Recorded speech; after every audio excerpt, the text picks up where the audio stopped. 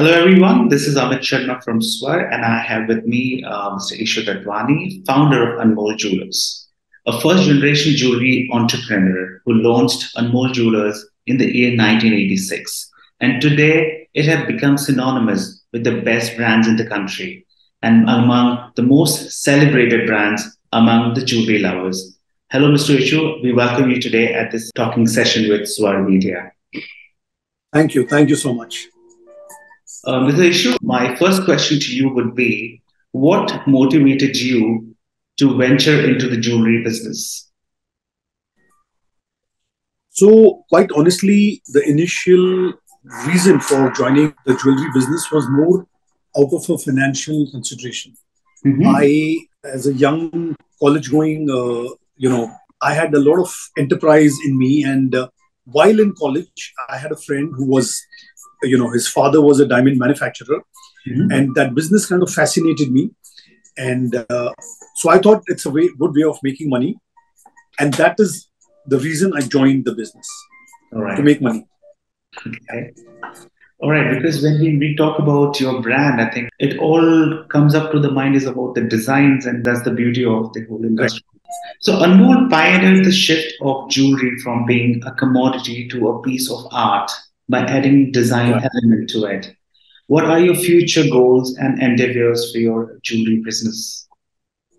So, uh, first of all, you know, the reason we uh, latched on to design and uh, you know made that our USP was because you know when we started 36 years back, there were people who were in the business for generations, True. and um, you know we realized that for us to be of reckoning, there has to be some USP that we bring to the table, mm-hmm. and uh, we realized that design is is a key element in uh, you know converting or making a, a, a sale. So right. that's how you know this the and then of course the passion came in and we were and we still are very very passionate about uh, our designs and workmanship and things like that. Mm-hmm. So you know that's how design became a very a pivotal part of our journey. Okay, so when uh, I wanted to understand, like, what are your future goals to take this brand? Uh, so, you know, the future goal, honestly, right now is first of all, currently what we're doing, we're working on is uh, systemizing ourselves. So, what we've realized is that, you know, we we had opened a couple of stores in Delhi, Gurgaon, mm-hmm. and subsequently we shut them because there were uh, operational issues. Mm-hmm. And what we have realized now is that, you know, for us to do well, we first need to have our systems in place. So, what happens is when you're sitting in a place like in Bombay in, at a flagship store, I'm sitting myself. It's a little easier to manage and to control and you know to mm-hmm. take your decisions on a day-to-day basis, and things still work. But if you have to work remotely, you know, where you have a branch either in Delhi or in any other part of the country right. or overseas, it's important that our systems are in place. And right now, that is what is happening. So we are working on uh, systemizing uh, Anmol.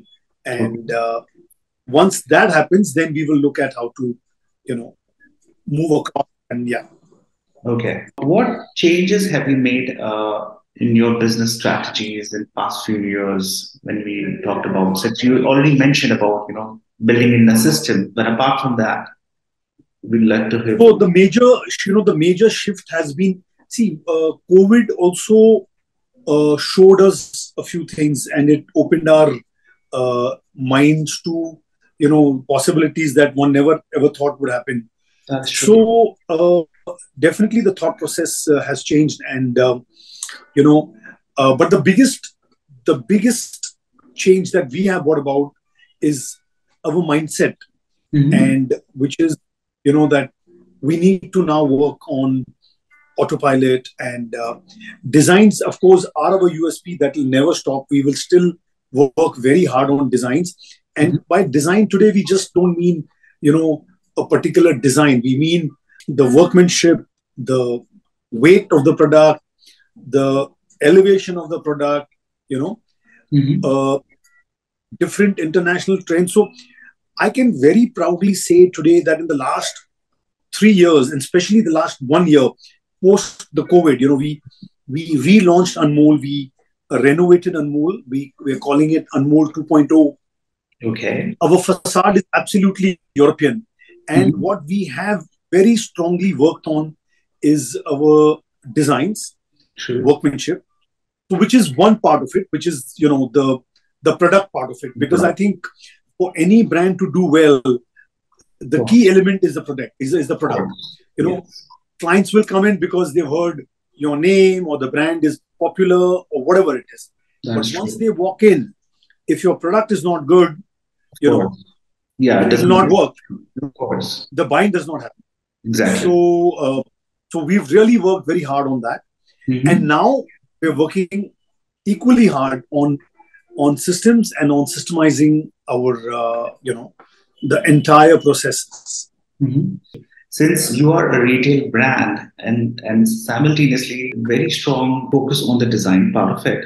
So what drives uh, this brand and more? How you get inspired, you know, building up one after another beautiful collections. So, you know, the process actually started. See, I told you I started uh, Anmol because of monetary considerations, and I'm I don't have I'm not apologetic about it. I mean, that is a fact. You know, money is important. But what happened along the journey is that there was an incident that happened where I realized that design is key Mhm. for success beyond what is average success True. and once that mindset you know changed i became so passionate about this business and about design that the entire focus was only on design design design so you know over the years also it's it's it's, it's a personality trait it's the nature of a person Mhm. I am very, very, uh, you know, I believe in reinventing myself. So every few years, we change our uh, the decor of the store. Last year, we've done a major renovation, and everything has changed.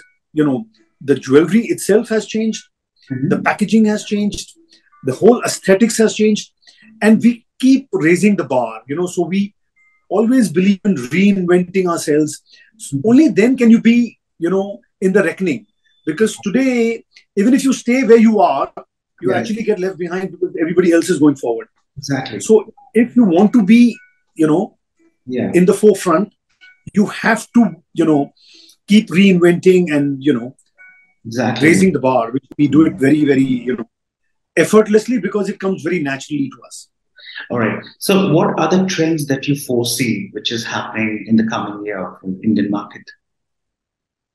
so you know i'll tell you what so so far what has happened is indian market is not one market Mhm. Indian market is, you know, if you do it in a sub uh, market, there may be 30 markets. Every state is a market by itself.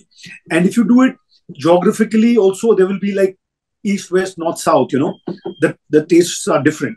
But what is happening in the last few years, thanks to internet, thanks to social media, the youngsters are now veering towards similar taste. Mhm. So earlier, you know, what would work in the south would not work in the north. What would work in the east would not work in the west. But Mhm. gradually, there are certain segments that Mhm. are merging, which is what we are seeing. Right. So, for example, bridal. Bridal is a very, very strong segment for any jeweler. Of course. So now we are seeing that the the you know the taste or the thought process of the bride is converging. You know, it's becoming similar Mhm. across geographical locations. True. and that's what we are now trying to uh, work toward you know create Mhm. designs which will appeal to a bride from north because they do come to bombay to shop with us. A bride from the south because you know people from all over come to bombay is, is a city where people want to come and you know they feel that the best designs are here. Mhm. you know so we are not only catering to uh, clients and brides from bombay we are catering to clients from across india and even overseas. A lot of you know international uh, non-resident uh, you know uh, buyers come to us and you know their taste is as international as can be but there is still that little indian element that you know comes in and for jewelry they would always come back to you know to India, either to Bombay, Delhi, wherever. But mm-hmm. you know, jewelry is a strong segment where they would not buy, especially the bridal stuff, from anywhere but but from India. That is that is so true. Uh, what is your USP? If I would love to understand, like the kind of because even the jewelry have a vast variety. So when we talk about your brand and what is the USP that drives and attracts people? So the USP is design, design, design. Okay, but now what we have come to represent is not only design as in the the look of the piece, but the workmanship, mm-hmm. the lightness of weight, the flexibility, the smoothness when you wear it, right. the way it fits. So mm-hmm. basically, it's the product. It's a 360 degree product, starting from design to every other aspect, aspect. and even to the way it is finally, you know, presented or put in the box, the quality of the box and things like that, the quality of the, uh, you know, shopping bag for but every everything. That's what a brand brings to the table. Right. So that is our USP. So if a guest uh, walk into your store, what all varieties he'll get to see? Everything. So we we have you know small items to big items, and uh, also we have uh, a little bit of a lounge which we call the bijouterie lounge. So that's an exclusive area where uh, goods in that area we don't even display outside. Right. So these are meant for ultra HNIs people with taste, you know, our old regular customers. And these are very novel and very uh, different, unusual pieces. A lot of these pieces we don't even repeat. So, mm-hmm. you know, the design element is is of a much higher caliber in this. That is true. Anmol is based out in Bombay at the moment, and you are trying to restructure it. Uh, uh, what are the chances? Like, how soon are we able to see Anmol in the different parts of the country? So I think for the next maybe six to eight months, we are still going to take to work work on our systems. Mm-hmm. After that, we will take a call, and uh, you know the next generation has come in. My daughter is now part of uh, Anmol. That's why also we call it Anmol 2.0. Okay. So I think it'll be more her call because I am now I've reached a state where you know I want to uh, you know make Anmol work on autopilot, and then I can take a back seat where I will be involved with business, but I'm going to be more of a, you know, like the chairman of the board, where mm-hmm. I give direction and I say this is how we should proceed. But the execution will be done by, mm-hmm. by you know, Trisha and by the team, All and right. uh, you know, we'll take that call maybe in the next six months. All right. Do you also have plans to uh, explore overseas market also? Because yeah, yes, we do. Yeah. Beautiful. And when we talk about the digitizations and you know brands going global on internet, do you have plans to come on e-commerce platform also for the people to yes. yes we already are. We have a website. Um, right. but we you know are not concentrating as much on it. But all that is in the works. You know everything is getting systemized. So there will be somebody who will be in charge of that vertical and you will see things that will happen. Mm-hmm. all right. What are your predictions for the future of jewelry industry in india?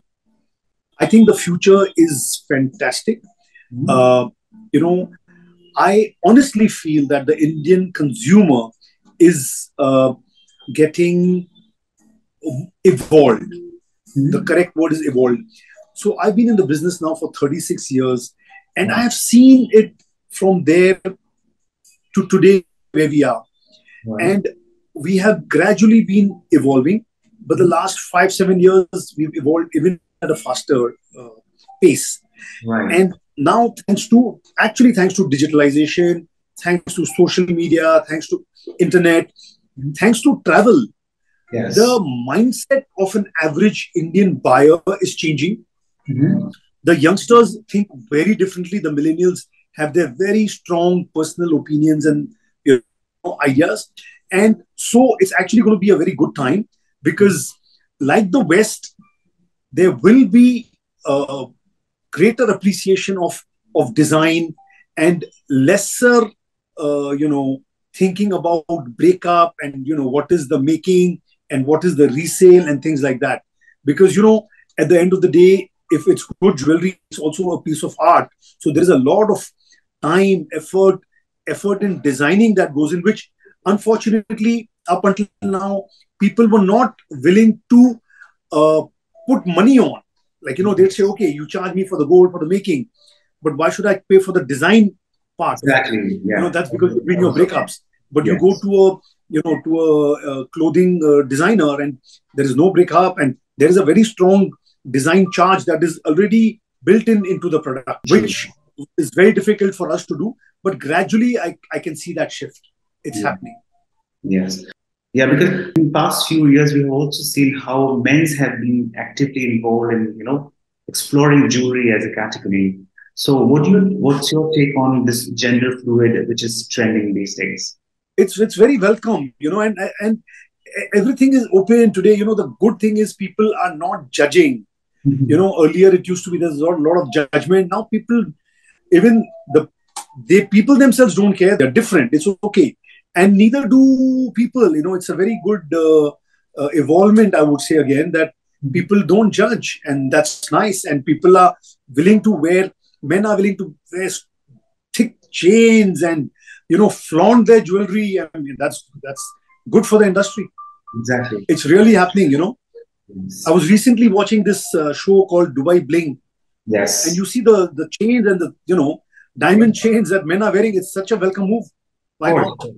Yes, yeah. I think I think we get to see a lot more in the Indian market also because you know people are definitely with the help of internet are definitely motivating down directions. Yeah. Yes. And if you look at our culture, the Rajas and Maharajas, they all wear so much jewelry. They used to wear more jewelry than the women. Yeah, that is that is so true.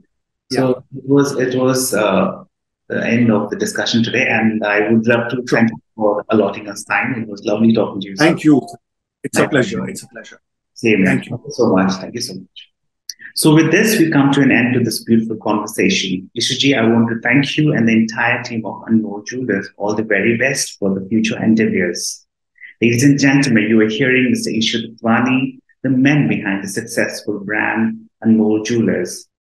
I, Amit Sharma, will be back soon with yet another successful personality from the gems and jewelry industry. Until then, goodbye. God bless. Thank you.